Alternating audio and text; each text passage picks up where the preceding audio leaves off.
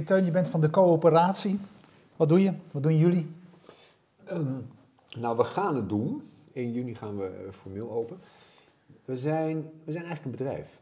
Ehm, eh, een bedrijf dat diensten levert, journalistieke diensten, communicatiediensten, maar die worden niet gemaakt door werknemers, maar door aangesloten ZZP'ers, zelfstandigen. Ehm, dus, eh, en daar, nou, zoals ik zei, beginnen we 1 juni mee. En dat is op journalistiek gebied, hè? Ja, nou, het, ja, het is journalistiek gebied. Ja. Ja. Waarbij ik wel, ik heb het altijd over information workers. Dus dat heb ik een beetje gejat van de sex workers die dat woord gebruiken. maar, maar de journalist is natuurlijk. Eh, ik denk dat, dat, dat we leven in een informatiesamenleving en het maken van, van informatie is breder dan alleen journalistiek. Oké, maar als dus gesproken wordt in de media over een journalistencollectief, dan Ja. klopt dat niet. Ja, klopt wel, natuurlijk. Dat is, Want dat is de informatiewerkers zijn ook alle PR en marketing. Ja, eh, dat, dat, dat is weer. ehm, ehm, maar zijn die bij jullie ook aan het goede adres? Even Nou, de- nee, nee dit is, primair gaat het wel over de journalistiek. Alleen ik geloof dat, dat, dat de, traditionele, de, de, de traditionele werkveld van de journalist is natuurlijk, eh, die weet ergens iets van en die draagt dat aan ons over in een, film of in een artikel.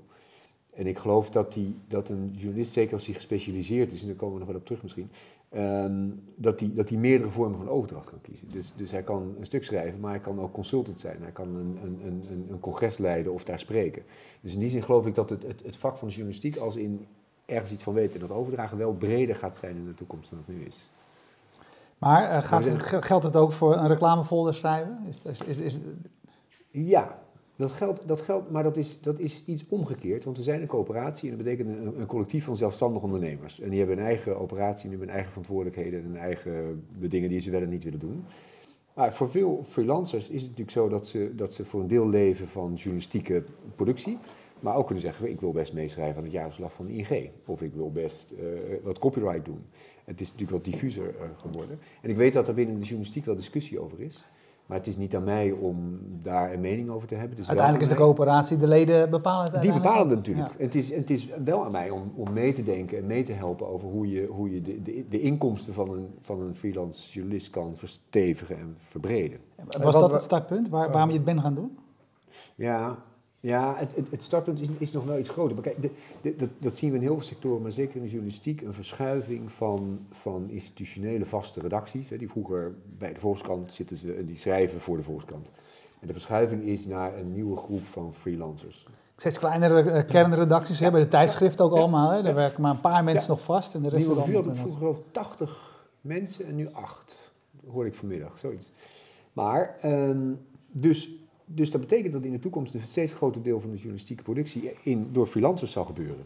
Dus we moeten met elkaar nadenken over hoe we ervoor zorgen dat dat, dat ecosysteem van freelancers vitaal en duurzaam is. Ja, maar wat, wat, wat zou maken dat freelancers, het woord zegt het al, die de, voor de vrijheid kiezen, Ja. en dat niet eh, prima zelf kunnen? Waar hebben ze de coöperatie voor nodig? Nou, ehm, eigenlijk, we hebben vorig jaar een heel groot onderzoek gedaan naar, naar die verschuiving.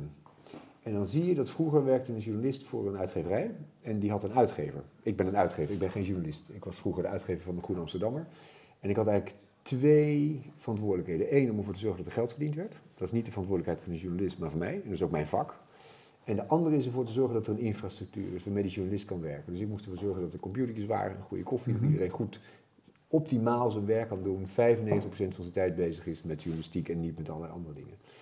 Dus, en dat ontbreekt natuurlijk bij de freelancer. Die moet A zijn eigen inkomsten gaan zitten zoeken. Nou, dat is een heel gedoe.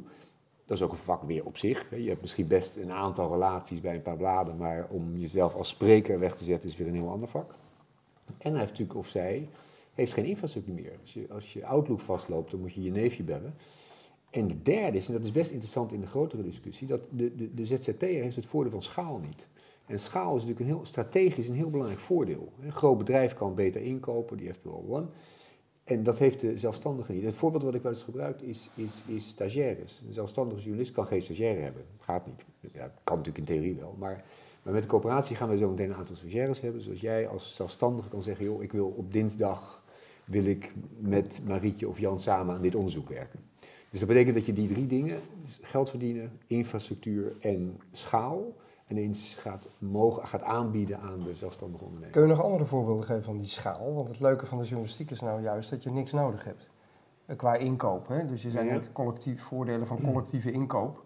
Ja. Stagiair vind ik een mooi voorbeeld. Ja. Dus eh, weet je, je stagiaires gebruiken voor onderzoek of Ja. ondersteunende diensten. Dat, dat kan ik me iets bij voorstellen. Andere dingen? Ik heb heel veel voorbeelden. Dus Stel, wij hebben zo meteen 500 leden. 100 daarvan hebben een leuke website, ook zelf, hè, waar ze op publiceren. Die kunnen niet tot nauwelijks daar zelf bannering inkomsten of andere inkomsten op genereren. Dat is heel lastig. Wij gaan zo meteen zeggen met een bureau, wij hebben hier 100 websites met 2 miljoen bereik uniek. Dus wij willen daar banners op zetten. Dan kun jij als lid zeggen, dat ik wil wel meedoen. Zorgen wij dat de bannering omzet op jouw site komt en je, dat wordt aan jou overgemaakt. Dat verdien jij, verdienen wij, bij jij. Typisch voorbeeld van hoe je met schaaldingen kunt doen die je, die je zelfstandig moeilijker kan doen. Die snap ik allemaal nog. Andere kant van het verhaal is, de, eh, je zegt ja, de, de, de inkomsten vergroten. Eh, er is weinig frictie op de journalistieke markt. Ik denk niet dat er heel veel journalistieke opdrachten onvervuld blijven, omdat Nee. eh, er geen mensen gevonden kunnen worden die die dingen doen. Nee. De goede journalisten, of de mensen die slim zijn, of de marketing of een netwerk hebben, weet ik veel, Ja. die redden zich toch wel. Totale hoeveelheid werk wordt niet groter. Nee. Hoe moet ik dat dan zien? Hoe zou jij met jouw co- eh, coöperatie eh, het inkomen van de gemiddelde freelance journalist kunnen verhogen? Nou, ik had, we hebben vorige week ons eerste lid aangekondigd. Dat is een beetje een ceremonie. Dat was Jasmina Abu Taleb. Ehm, en die, ja, columnist die, in ja, eh, ja. Parool. En die sprak ik en die ja, zei dit. Of, ja. NRC. In NRC en Parool volgens mij. Ja. Ehm, die zei, ja, maar ik ik bedoel, ik heb heel meer opdrachten dan ik aan kan. En ik heb een goede boekhouder, dus wat kan ik nou bieden? En toen hebben we een heel gesprek gehad. Toen, zei, toen, ik, en toen vroeg ik aan hem van, spreek jij wel eens op congressen? Dus het voorbeeld komt nu voor de derde keer langs. Maar dus nee, dat doe ik eigenlijk niet. Nou, ik, kan jou drie of vier of vijf keer per jaar als dagvoorzitter of als spreker op een congres eh, wegzetten. is een lelijke term, dus ik moet iets anders verzinnen. Maar, maar ik snap wat je bedoelt. en toen zei ik, ja, ja god, dat kan ik inderdaad niet zelf. Ehm, dus dat is een voorbeeld. En er zit ook nog een andere, waar zij heel gevoelig voor was, is dat als als je weer constateert dat een belangrijk deel van de toekomst van de journalistiek in handen is van de freelancers, dan hebben we ervoor te zorgen dat die ehm, ehm, ook collectief steviger staan dan ze nu staan. Want ja, een klein deel kan het zelf en een klein deel heeft een, een, een arbeidsongeschiktheidsverzekering, maar het allergrootste deel natuurlijk niet. Dus, dus we, Ja, dit klinkt voor mij allemaal heel uh, vakbondachtig, uh, betuttelend. Een Oh ja, klein deel van de journalisten kan voor zichzelf zorgen. Volgens mij zijn, Nou, zijn nou. het voor het grootste gedeelte toch allemaal juist hele zelfstandige mensen. Ehm, ik denk dat ze allemaal heel zelfstandig zijn. En kijk, wij maken dus geen bedrijf, we nemen ze niet in dienst. Je bent zelfstandig ondernemer. Alleen we collectiviseren. Waarbij er zijn twee dingen. Gedwongen winkeldering bestaat niet bij ons. Dus je mag alles doen wat je wil. Je mag zeggen, ik wil opdrachten via de Volkskrant wil ik zelf doen. eh, maar eh, via managementteam wil ik wel via de agent van coöperatie laten doen. Wel of niet, mag allemaal. Ehm, dus, dus in die zin doe ik niks af aan de, aan de zelfstandigheid. Maar de voordelen van dat collectief op, op heel veel fronten, die, die zijn voor. Ik kan 5 tot 10.000 euro extra omzet genereren per, per freelancer per jaar. De voordelen zijn er gewoon. Maar waar, waar- eh, nogmaals, eh, dat moet dan allemaal uit spreekbeurten komen. Want eh, Nee. de journalistiek op zichzelf wordt alleen maar... eh, het geld wat daarin omgaat, wordt niet groter. Nee, maar ik denk, nou, oké, dan heb ik nog twee andere dingen. Eén is dat, ik, dat, dat je dus de inkomstenbronnen kunt verbreden. Hè, van alleen stukjes schrijven naar ook eh, consultant zijn. Dat geloof ik echt serieus. Een, een, een, een journalist weet iets wat iemand anders niet weet. En dat kun je overdragen in een artikel of als consultant. Dus het verbreden van de inkomstenbronnen. Als je dat goed doet, dan staat er nog iets anders. Dat je als journalist kan kunt specialiseren. En ik gebruik vaak het voorbeeld van iemand die zich specialiseert op 18e eeuwse Japanse mode. Noem maar een zijstraat. Dat kun je nu als ZZP'er heel moeilijk doen. Je moet gewoon ja, dan weer een stukje over voetbal, dan weer over schapen en dan weer over Syrië schrijven. Terwijl als je je specialiseert, dan word je dus echt een onontkoombare expert op jouw vakgebied, waarmee je veel breder, breder kan inzetten. Ehm, eh, dus ook daar geloof ik dat je, dat je dan tactisch een enorm voordeel hebt als ZZP'er. Zouden jullie met, met die groep, eh, die groei, of die, die toekomstige grote groep, eh, naast het richten op eh, de, de, de, de partijen die er al zijn en waar steeds minder geld is of lijkt te zijn, ehm, eh, is het ook denkbaar dat jullie met die groep zelf Ja. nieuwe initiatieven gaan doen? Dat was, ik was even vergeten wat ik ook nog wilde zeggen, maar dankjewel voor de herinneringen. Ehm er bestaat iets dat heet Reporters Online. Ik weet niet of jullie het kennen. Ja. Het is ontstaan toen Blendel kwam, daar konden freelancers niet op publiceren. Toen is er een nieuwe titel, dat is Reporters Online. Wij werken, werken heel nauw samen. Dus dat betekent dat onze leden, iedereen kan het, maar onze leden in het bijzonder, kunnen zowel publiceren in Reporters Online als de Blendel-button gebruiken op hun eigen website. En dat regelen wij allemaal, dat doen we in één keer. En dan krijg jij de omzet. Dus dat betekent dat wij als coöperatie formeel gaan niet zelf publiceren. Dat doen we niet. Maar Reporters Online is wel een publicatieplatform voor freelancers. Ehm, en is dat spannend? Ja, omdat A, daarmee de freelancers hun eigen content gaat exporteren. Het is dus niet meer een journalist in dienst van een uitgever die die content exporteert en die expertise exporteert, maar het is de journalist zelf. Dat is een wezenlijke omkering.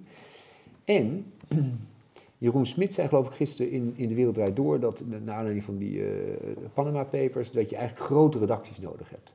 Je hebt grote redacties nodig om dit soort zware onderzoeken te kunnen doen. De allergrootste redactie is natuurlijk een collectief van 500.000, 5.000, 10.000 onafhankelijke journalisten in een aantal landen. Dat is de grootste journalistieke ja, Dat is natuurlijk ook waar nu die Panama Papers uh, landen, bij het internationaal collectief van onderzoeksjournalisten. 106, 106 media die meedoen ja. overigens.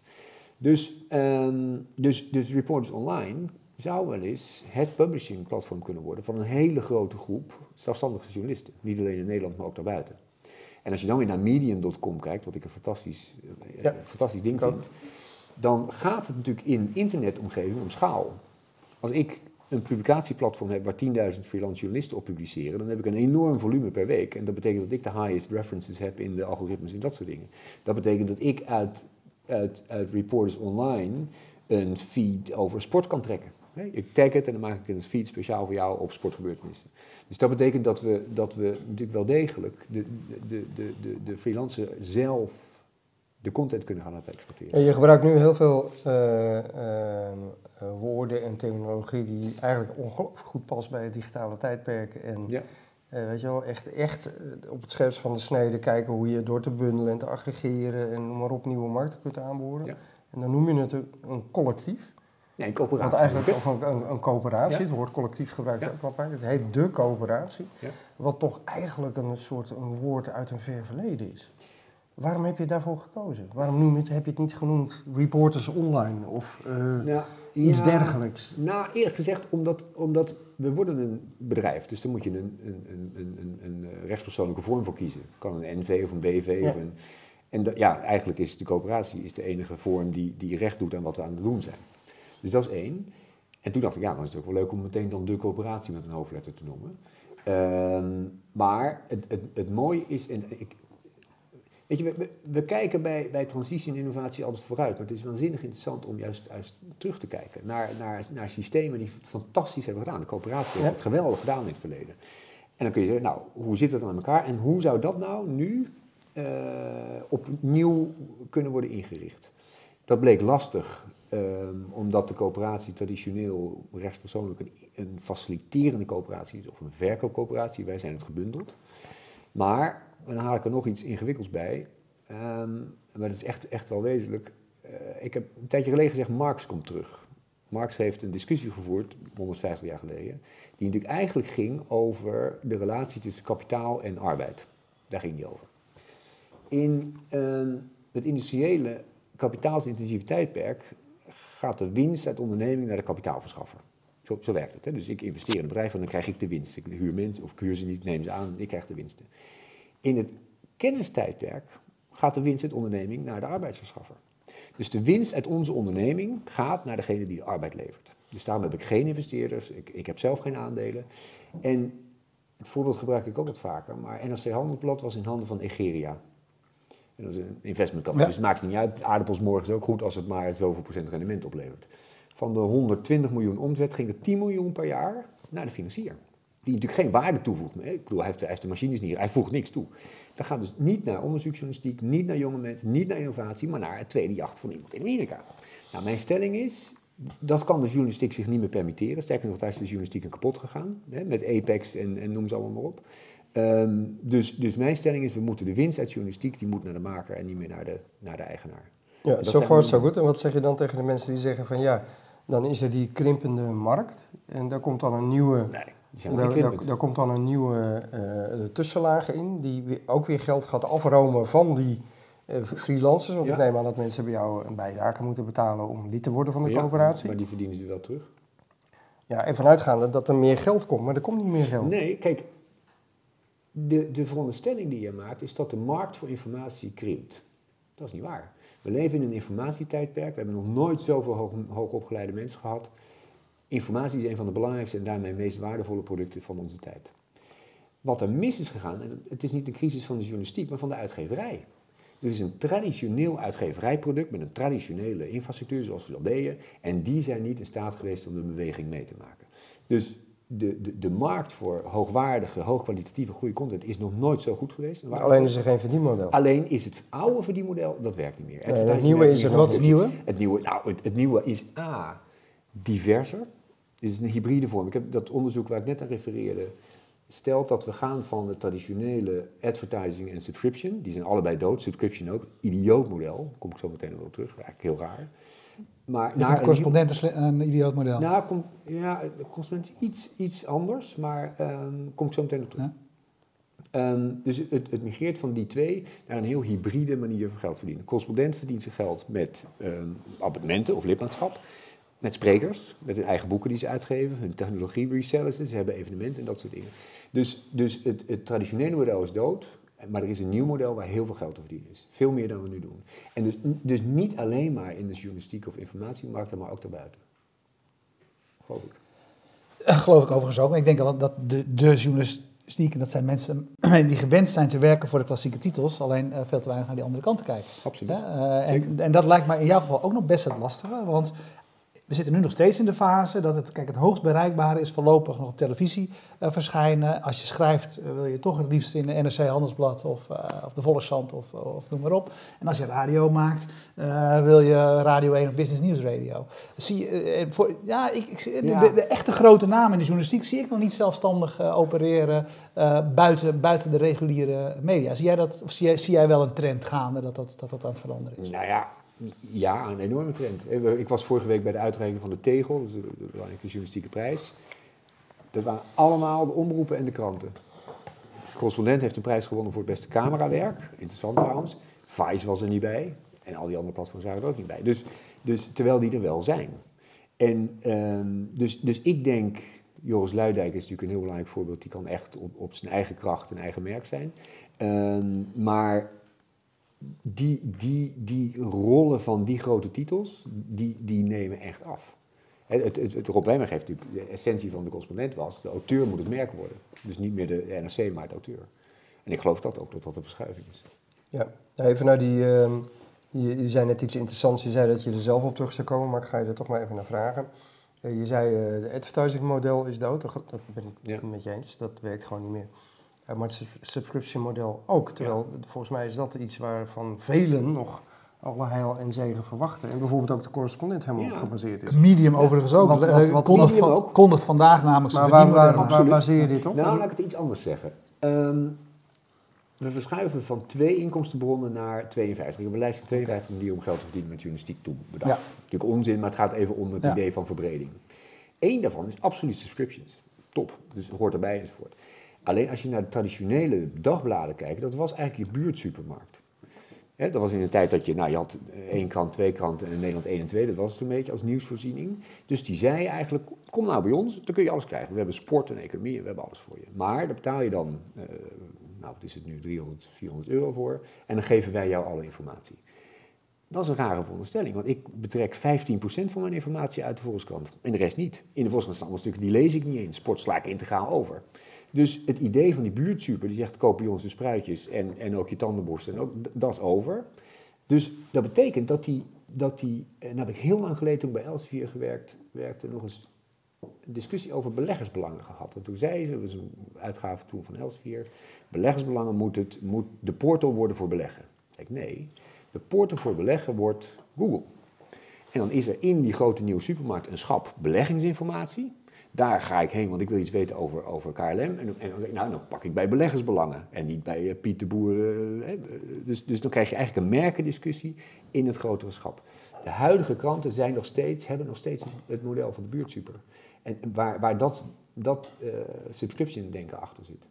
Dus ja, maar goed, de, de, de, het is een heel verhaal, maar de kranten is niet hetzelfde als subscription. Eh, Nou ja. nogmaals, de correspondent is ook Ja. subscription. Laat ik, laat ik dan anders zeggen, want, want nogmaals, ik geloof in subscriptions, maar, maar niet meer in dat traditionele model van de krant. En ik geloof dat dat ook veel harder in elkaar gaat storten dan we denken. Wat ik wel geloof, is dat je bijvoorbeeld bij de correspondent, maar de vraag is wat de correspondent is. A, is dat geen uitgever, maar een gefaciliteerde redactie. Dat, vind ik, dat, dat lijkt hetzelfde, maar dat is het niet. Het is een heel ander, het is echt een redactie die een beetje ondersteund wordt. En de andere is dat de correspondent natuurlijk eigenlijk een beweging is. dat, dat is raar. Hè? Ik, ben, ik sprak een iemand van de Volkskrant die zei, ja, wij- ons product is nieuws. Denk, wat een onzin. Denk je nou, dat ik 400 euro per jaar betaal om nieuws van jou te krijgen? Dat is natuurlijk Ja. waar. Het product van de correspondent is... Ze, ze, ze werken ook heel erg met constructive journalism, wat ik heel mooi. Dus je, je analyseert niet alleen het probleem, maar ook de oplossing. Dat is een heel, hele mooie vorm. En dat betekent dat er een groep mensen is die willen daarbij horen. Dus dat is alweer een, een, een, een verschuiving. En ik denk dat, nou, Medium.com eh, maakt er nu ik geloof dat Blendel nu ook bezig is hè, met, met eh, subscription modellen. Dus ik geloof best dat je een soort van all you can eat Spotify, hè, dat is eigenlijk ook een subscription Spotify. Die modellen zullen wel blijven bestaan, maar waarvan ik geloof dat het einde is, is, is die krant die zegt voor 400 euro zorgen wij dat je alles weet wat je moet weten. Ja, maar eh, dan bedoel je volgens mij wat anders. Dan zeg je eigenlijk van eh, mensen willen best betalen voor informatie die helemaal toegesneden is op de, hun eh, diepe interesses. Dus Ja. de kracht van de niche. Ja. Eh, daar zit de waarde, daar Ja. willen mensen voor betalen. Je gelooft alleen niet meer in een abonnement op een heel generalistisch iets, zoals Nee. een dagblad nog steeds is. Waarvan Nee. ik ook driekwart niet Nee. lees. Maar ja, je bent, blijkbaar vind je het fijn als die ochtends op de mat ligt. En- Ja. Nou, en dan is er nog een andere, en dat is, gaat weer even over die specialisatie. Ik, ik sprak een keer met een hoofdredacteur van een hele grote krant. Die zei, ja, het is heel mooi, bij ons roleren mensen. Dus je zit drie jaar op de kunstredactie, en dan zit je drie jaar op de economieredactie. Oké, dat betekent dat iemand Overnieuw begint. overnieuw begint en Ja. niks van economie Ja, weet. Daar snap ik helemaal niks van. Nee. En, en het interessante is ook, als je een stuk leest in de krant waar je echt iets vanaf weet, dan heb je altijd zoiets van, ja, ja, klopt, ja, dat klopt net niet. Dat- maar dat is vrij integraal zo. Dus als je nou economie neemt, dan, dan gebruik ik vaak Erik Smit van Follow Money als voorbeeld. Als er nu iets gebeurt bij de SNS-bank, belt hij binnen een half uur met iemand die hij al drie jaar kent, om elf uur s'avonds, die alles weet. En die heeft binnen twee uur een stuk dat vijf keer beter is en vijf keer goedkoper dan de vaste economieredacteur van- een krant. Dus ook daar geldt dat die, die, die vaste kernredactie ja, niet meer opgewassen is, niet meer in staat is om de allerbeste content te genereren die, die, eh, die ik als consument wel wil. Ja.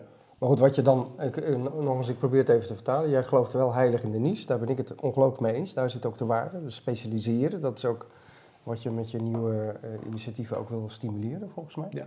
Eh, en subscription zie je meer in relatie tot de niche dan in relatie tot Ja. het eh, eh, generalistische product. Ja, dan snap ik Ja, het. precies. Ik denk, Ja. je- dank je, dat is een goede ja, reflectie. Goed samengevat. Steven. Ja. Ja, nee, want ik geloof namelijk zelf heel erg in de waarde eh, van niche-producten. En ik geloof dat mensen daar gewoon voor willen betalen. Ja. En dat het wel eens de belangrijkste Ja. bron van inkomsten zou kunnen zijn. Zeker. Maar dat veronderstelt specialiseren, dat veronderstelt eh, goede distributie en, en marketing. Maar dat, dat, dat, dat pleit juist heel erg voor dat mensen zich specialiseren. Ja, absoluut. Ja. En wat jij zei, wat je natuurlijk inderdaad ziet bij alle, eh, alle eigenlijk zou je kunnen zeggen, de nieuwe eh, mediatitels van de afgelopen jaar, die hebben allemaal die combinatie van, van businessmodellen. hè. Dat is, eh, als je dan kijkt naar Nederland, naar, eh, naar de Next Web bijvoorbeeld, dan is bijvoorbeeld het events is een, is een belangrijk onderdeel van waar ze hun geld mee verdienen. Kijk je naar Wired, dan zie je daar ook dat ze consultancy, dat, consultancy doen, dat ze events hebben, dat ze bedrijven eh, inspireren en bijpraten Ja. over ontwikkelingen. Allemaal bij producten of, Ja. of, of een combinatie van hoofdproducten zou je kunnen zeggen van, Ja. van hun deskundigheid. Nou, en dan wat ik een heel mooi voorbeeld vind, is die Elliot Higgins van Bellingcat.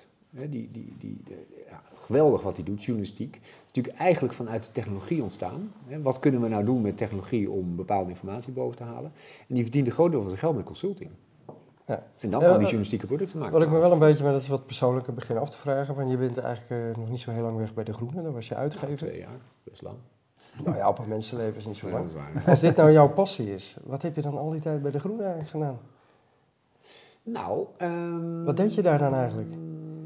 Nou, ik deed daar twee. Ik vind het een fantastisch blad hoor, ik lees het Ja, graag, ja. maar het is wel het oude Ik model. zeggen, ik heb daar Namelijk ik- abonnement voor Ja, eh, ze- van alle, zeker, alle zeker, eh, zeker. artikelen, een mooie Zeker. van alles en nog wat. Ja. Kult- Kunst, cultuur, eh, zeker. essays, architectuur. Ja, ik, ik, ik deed daar twee dingen. A, wilde ik graag in ieder geval voor mezelf laten zien dat, dat, dat, dat, dat hoogwaardige eh, content exportabel is. Hoogwaardige onafhankelijke journalistiek is exportabel.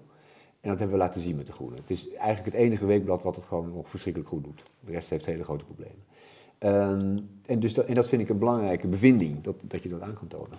En de andere is dat, dat de Groene Amsterdammer een heel belangrijke rol speelt in de, in, de, in, de, in de voorhoede van het maatschappelijk debat. Zeg maar even. Dus mijn stelling is, als, als, als, als, als de Groene zijn rol goed vervult als bron van dat debat, wat ik natuurlijk niet deed, dat deed ik Schut als hoofdredacteur, maar dan, dan, dan hebben wij een breder en vitaler en beter debat. Dus daarom vond ik de Groene en vind ik de Groene nog steeds ontzettend belangrijk. Ehm, en voor de Groene is deze vorm de beste. Want het boeiend, we hadden op een gegeven moment 1600 geloof ik eh, digitale abonnees. En de grote beweging was dat een digitale abonnee op een gegeven moment zei, joh, weet je, ja, ik doe maar toch maar weer dat blad. Want ja, fysiek, want dat leest toch lekkerder en zo. Ja. Nou, doen we dat toch. en, en daarmee is die kanalendiscussie eigenlijk niet relevant. Het gaat natuurlijk om de, de content en daarmee de waarde die jij levert. En daar kan je kanaal extra waarde aan toevoegen. Hè, want online kan je ineens reageren en kan je hartstikke leuk. Maar uiteindelijk gaat het over de, de, de, de, de onontkoombaarheid van de content die je maakt. Dus de groene kun je ook per postduif bezorgen. Ik hoop dat mensen hem nog. Je zei, ik, heb daarmee eh, een van de dingen die voor mij belangrijk waren, dat ik hem heb laten zien, dat verhoogwaardige kwaliteit, eh, dat, dat, je, dat, je, dat je daar gewoon ook nog je goede business op kan, kan, kan drijven. Je zei, de andere tijdschriften eh, lukt, lukt dat niet, of lukt dat op dit moment niet. Kijk eens naar Vrij Nederlands, toch een roemruchte titel, hele belangrijke rol gespeeld de, de afgelopen, afgelopen decennia. Ehm, wat, wat zou zo'n titel dan nu, nu moeten ondernemen om zeg maar weer wat terug te winnen van zijn, eh, van zijn belang? Wat ik, ik, ik maak altijd een heel groot onderscheid tussen product en propositie.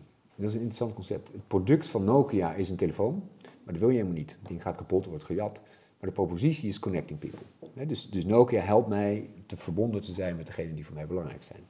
Dus wat uitgevers... Marketing gelul. Niet, nee, helemaal niet waar. Echt niet waar. Nee, niet waar. Want Je kan op duizend andere manieren connecting. Nee, maar daar gaat het niet om. Ja. Maar, maar, maar, maar, maar Nokia Ja. helpt jou, of Apple in dit geval, Ja. helpt jou om verbonden te zijn. Dat is de werkelijke waarde. Ik werkte ooit bij het Concertgebouw. Toen zei ik, het product wat we hebben is een heel mooi concert in een hele mooie zaal. Dat is 34 euro waard, dat is gemiddelde kaartprijs.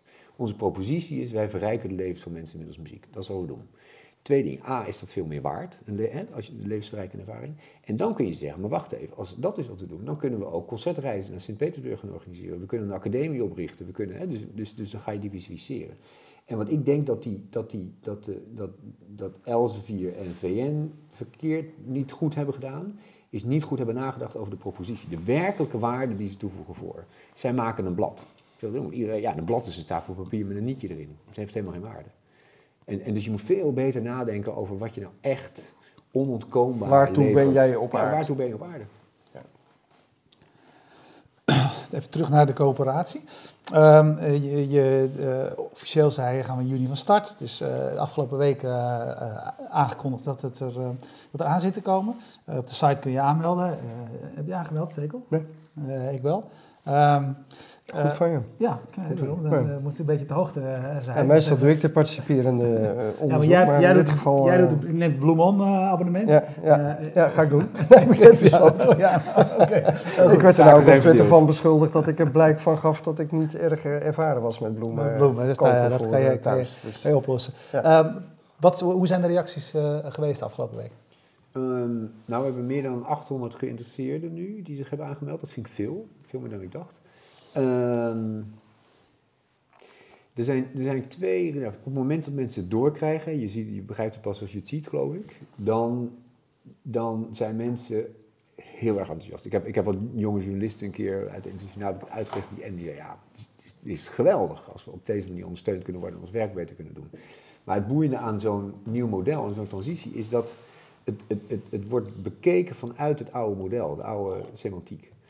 En ehm, dus ik ben nu al heel erg bezig om, om, om te laten zien wat we de gaan doen. propositie te tweaken. En ik Ja. had vorige week een gesprek met iemand. Wij gaan heel veel diensten leveren. 63 zeg ik altijd, een beetje onzin, maar oké. En één daarvan, we gaan boeken uitgeven. Toen zei ze, ja, hoe kan je nou een bedrijf bouwen dat 63 diensten, hè, 63 mensen in dienst nemen die er gaan doen? Maar dat doe ik niet. We hebben een afspraak met Fosfor, dat is een boekenuitgeverij. Die zijn heel goed in boeken uitgeven, longreads en dat soort dingen. Dus die worden partner, die blijven zelfstandig Fosfor, die moeten doen wat ze willen. Maar die worden partner van de coöperatie. En die, dus wij hebben nu een afdeling boek uitgeven. Dus als er iemand belt, kun je een boek uitgeven? Ja, dat kunnen we. Als er een auteur, een lid van ons zegt, ik wil een boek gaan maken, jij wil een boek maken, dan hebben wij iemand in huis die jou daarbij kan helpen, 50-50, en dan maak je samen dat boek. Dus dat betekent dat we ook daar een heel, heel, nieuwe manier van het organiseren van een bedrijf maken. Ehm, dus volgens mij zijn de reacties ontzettend positief, maar eh, ook, ook, ook, ik vind het een boeiende ervaring om met transitie bezig te zijn, om te zien hoe dat het tijd nodig heeft voordat mensen begrijpen wat we gaan doen. Ja, je hebt vast een, eh, bij, bij zo'n plan en het lanceren hoort ook een begroting. Ja. Eh, hoeveel leden heb je nodig om dit eh, rendabel te kunnen draaien? Ehm, ik begroot 325 aan het, eerste, aan het eind van het eerste jaar. Ehm, en break-even zit ongeveer bij 400. Oké. Waarbij er nog één interessant ding is, dat we krijgen nu heel veel vragen uit het buitenland. Dus, Parijs en Brussel in ieder geval, enzovoort. En dat, dat wisten we, dat dat ging komen. En dat wil ik ook, maar in eerste instantie hadden we bedacht, dan beginnen we gewoon een satellietcoöperatie, of iemand begint de coöperatie in Parijs of in Washington. Het is een open source model, dus iedereen kan het hebben, de technologie, het, hele database, infrastructuur, het model. Maar we hebben nu gezegd, nee, we, we, we, we- hebben een vestiging in Amsterdam met werkplekken, we hebben een vestiging in Hilversum, in Zutphen, als iemand het wil, in Parijs, in Brussel en zo. Dus het wordt één infrastructuur waar we dus gewoon een nieuwe vestiging toevoegen. Ehm, en waar mensen leden kunnen worden, lid, lid kunnen worden. Dus, dus, dus die internationale expansie gaat ook heel snel. Dus ik denk, nou ja, die 325 halen we sowieso. Daar zitten we wel heel snel op, denk ik. Ja, wat moeten mensen eh, afdragen? 20 euro in de maand. 20 euro in de maand. Dus hetzelfde als een vakbond eh, overigens, Ja, dat is de prijs van een, eh, een regionaal dagblad. Ja, Volkskrant is duurder dan dat. maar Ja, die- een stuk duurder. Ja. Ja, dus dat betaal je per maand en daar heb je een aantal basisdingen voor. Dus dan, dan, dan zit je in de database. Spotify en Netflix samen. Ehm, dan heb je een aantal, aantal dingen. Je, je, je hebt dan toegang tot een opdrachtendatabase die we samen met eh, de NVJ doen. eh, en een aantal van dat soort dingen. En als je dan zegt, maar ik wil ook graag een boekhouder. Hè, want een van de leden is een boekhouder. Nou, je hebt dan een boekhouder. Maar je zegt, ik vind het handiger als dat een journalistiek iemand die dat begrijpt en die ook op het kantoor zit. Dan kan hij voor jou de boekhouding doen. Jij betaalt hem daarvoor. Goede tarieven, dat drukken we natuurlijk allemaal heel erg. En hij tikt een heel klein stukje af naar de coöperatie. Dus als Fosfor een boek maakt omdat er iemand heeft gebeld, dan maken zij het boek voor hun exploitatie, maar tikken 5% af naar de coöperatie. Dat is een van de businessmodellen van de coöperatie. Ja, spannend. Nou ja, ik, ben benieuwd waar je staat eh, over een jaar. Ik zei laatst En, tegen eh, iemand, ik heb het idee dat ik een bus heb gebouwd, die een hele hoop mensen heb uitgenodigd van kom mee. En toen denk ik, moet ik sleutel omdraaien, dan moet hij doen. Ja. Moet hij aanslaan. Ja. ja, En dat is natuurlijk wel spannend. ja. Ja. Ja, Ik ongelooflijk denk dat hij ongelooflijk En als die eh, aanslaat, dan, dan, dan heeft dit natuurlijk een enorme, gaat dit een enorme bijdrage leveren aan de toekomst van de journalistiek. Als dit model blijkt te werken, dan, dan is dat heel belangrijk, denk ik. Mooi. We zullen het zien. Ik hoop het. Oké. Ja, dankjewel. Alle succes. Dank jullie wel. Bedankt voor het kijken. Eh eventjes het, eh, het dankrondje stekel, eh traditiegetrouw aan het einde. Ja, jij bent er goed in, in de commerciële boodschappen. Ja, dus, absoluut man. Ik ben zo commercieel, dat weet je toch. Ja. Eh, maar een biertje, het biertje bedanken van Oh, dat de- kan ik... de eh, dat kan ik biersponsor. Ja. wat- Hoe is die? Je mag Ja, nee, lekker. Lekker. Maar deze had ik vorige week ook al, de Liberty Ale. Uit San Francisco. Een erg lekker biertje. Dus eh, wil je dat ook? Die eh, Bier en Co. eh, importeert ze. En eh, deze kan ik zeker aanraden. Oké. Ik zeg trouwens ook als ik ze niet lekker vind. hoor. Nee, dat is de afspraak Ja. die we gemaakt hebben. Want anders heeft het natuurlijk geen enkele waarde wat we hier zitten te vertellen. Dank 2ML voor het hosting van de site. Dank Streamzilla uit Groningen die ervoor zorgt dat je elke week live kunt meekijken. Ehm ja, stekel, volgende week zijn we er weer. Volgende week. Dag.